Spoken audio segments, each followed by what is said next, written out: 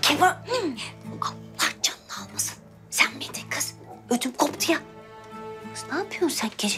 Bir yarısı karanlıkta böyle oturmuş? Kız. Onun hepsini sen mi yedin? Ya zaten kavanozun dibinde vardı be. Ya ne tipi? Ben daha açmadıydım bile onu. Nasıl yedin bu kadar şeyi? Aman ne yapayım be üf, canım çekti. Kız vallahi hamile olsa aşeriyon diyeceğim ha. Kız hamile misin yoksa? Aman yok be üf. Nereden çıkarıyorsun ya böyle şeyleri? Tabii canım. Allah Allah. Hamile değilsin. Benimki de laf işte. Mehmet yeni uyudu. Bir derdi var oğlanın. Nedense bilmiyorum. Benim de gözüm uyku tutmadı. Kız bir çay koyayım mı kız? Şöyle karşılıklı ana kız içeriz ha? Şş, anne kız. Lokma da yapsak ya yanında yeriz. Kız sen daha doymadın mı kız? Ha? Kız bana bak.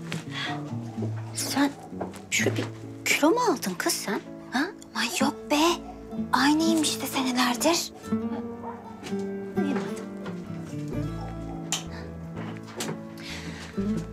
Yarın diyorum bir hoca hanıma gideyim diyorum ben. Oğlanı bir okutayım diyorum. Nazar değdi kesin. Kız şu çakır gözlü karının nazarı değmiş olmasın sakın. Benim zaten hiç gözüm tutmadıydı onu. Ya anne bak çok iyi kız. Vallahi tanısan çok seveceksin onu. Vallahi. Tabii tabii. Buğulu yakışıklı oğlanı yamanıyor tabii. ne yapacak? Zaten senin oğlunda da hamlar, hamamlar. Böyle paraya para demiyor değil mi Mehmet anne? Ha, benim oğlumun gönlü zengin, gönlü. Bir kere hedese bütün kız anaları kapımda dizilecek. He, değil mi? Vallahi öyle anne. Ona ne şüphe.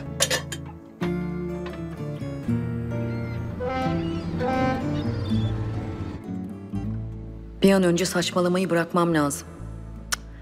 Benim Can'la konuşmam lazım. Beni bir tek Can paklar.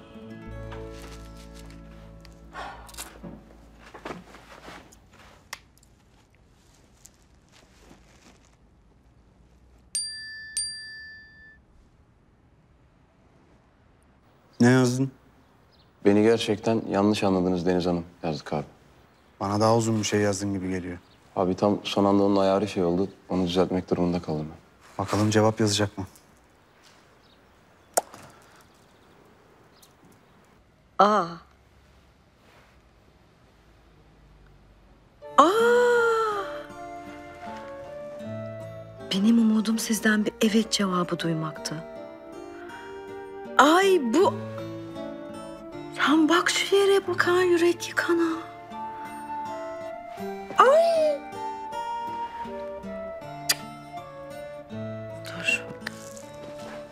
Hemen mesaj atmayın beş dakika sonra atarım. Ah.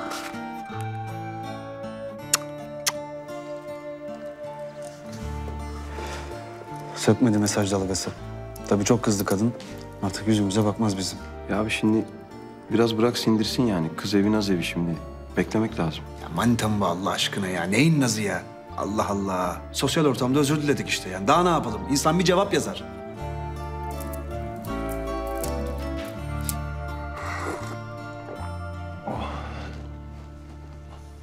Nasıl biraz daha iyi misin şimdi? Daha iyi.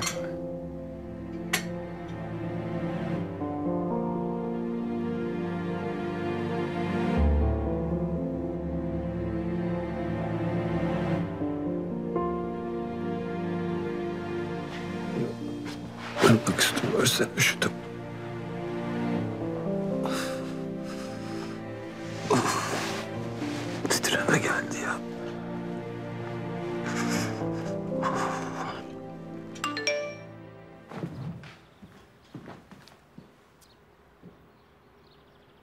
Ne yazmış abi? Allah Allah. Arsız mıdır nedir oğlum bu kadın? Benim de duymak istediklerim var ama söyleyen yok. Şimdi bu ne manaya geliyor abi? Ne bileyim oğlum ben ne manaya geliyor. Biz bir mana söylediğimiz zaman tokat diyoruz. Kendisi bin manaya gelecek şeyler yazıyor. Yaz. Deniz Hanım. Ateşle oynuyorsunuz farkında değilsiniz. Lütfen.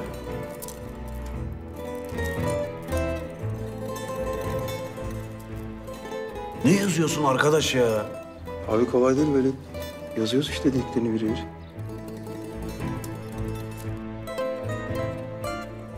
Duymak istemediğiniz şeyleri bile söyletirsiniz siz insana bu güzelliğinizle. Ay. Bu iş tamamen kontrolden çıkmaya başladı. O zaman şöyle diyorum size Sermet Beyciğim.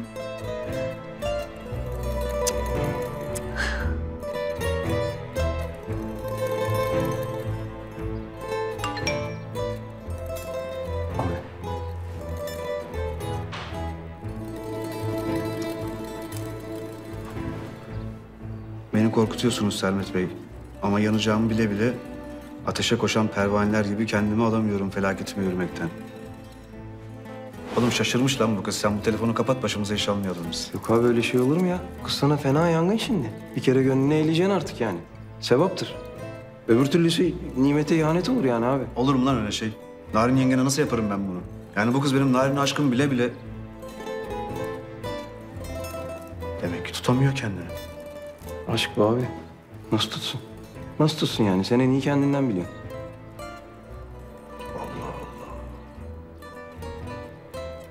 Allah Allah.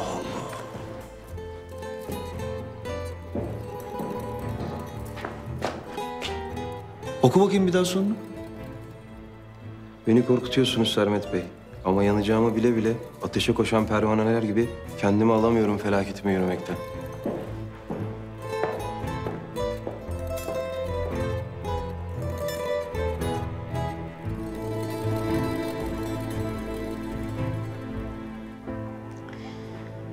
Ben bir karara vardım Atıf.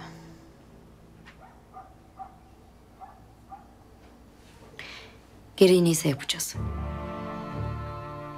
Hiçbir suç cezasız kalmaz.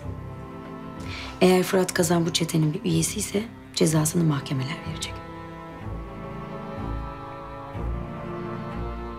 Kararı alırken zorlandın galiba. Üzgün görünüyorsun. Eh, pek mutlu değilim tabii.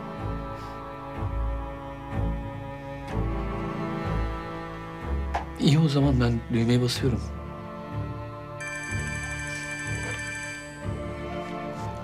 Efendim babacığım? Yok yok. Bir iki güne geleceğim eve. Her şeyin sonuna geldik zaten. Yakında tehlikeli hiçbir şey kalmayacak. Ben şimdi müsait değilim. Arayayım mı seni? Tamam. Demek baban kaçırılmadığını biliyordu. Babamdan böyle bir durumu saklayamazdım. Aslında sürecin başından beri her şeyden haberdar. O da epey bir rol yapmak zorunda kaldı. Yalnız bir gün sonra arayıp haber verdim çünkü... Biliyor musun benim annem kalp hastası. Aslında biraz da o yüzden haber verdim. Sen yorgun gözüküyorsun. Bana bak. istersen kal burada. Ormana falan çıkar yürürsün iyi gelir. İyi fikir aslında. Her şey üst üste geldi. Şadiye çıkıyor biliyor musun? Gerçekten mi? Çok güzel haber. Hadi hayırlı olsun.